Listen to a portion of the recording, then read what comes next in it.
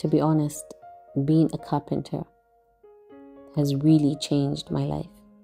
From the day I started till today, every single day, I walk into the factory to produce something, to cut something, to measure something, to compare colors.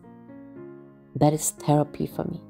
A lot of people say they wonder how I I'm so happy all the time. I laugh all the time. I'm always I'm ready to smile with people and I'm always there to listen. The secret truly is my work. Every single thing that I've been through in my life, work has successfully um, reduced my traumatic experiences. Because every single time I'm having something that it's bothering me, I turn to work and it has always worked for me.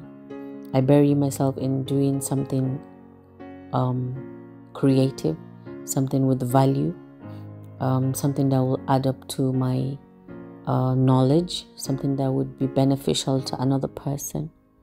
I like to dwell in new designs. I this is just a dream come true for me to be in a field where I genuinely love and I don't take this for granted for being able to um leave my dream.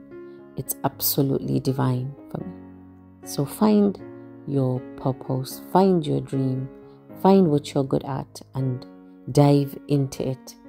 I assure you, if you genuinely like it, even if money doesn't come out from this particular job all the time, you would be very much okay to wake up every single morning to go and do things that will just give you joy. So, never, never accept that you can't do things, especially a woman. You can do anything you put your mind at as long as you're willing to learn, you're willing to study, you're willing to sacrifice, and most of all, you're willing to put in your all in order for you to get all in return. Lastly, this is a joke. They say we're all born equal, but then some of us stepped up and became carpenters.